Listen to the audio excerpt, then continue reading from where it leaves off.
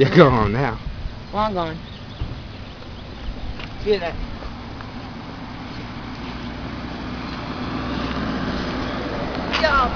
Nah, that girl's ugly, man. She had no hair. She had no hair, dude. At all. But a big forehead. Eh?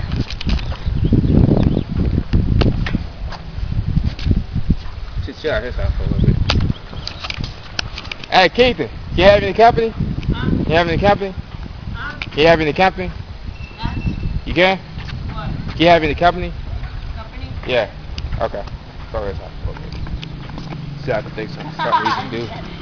I don't play.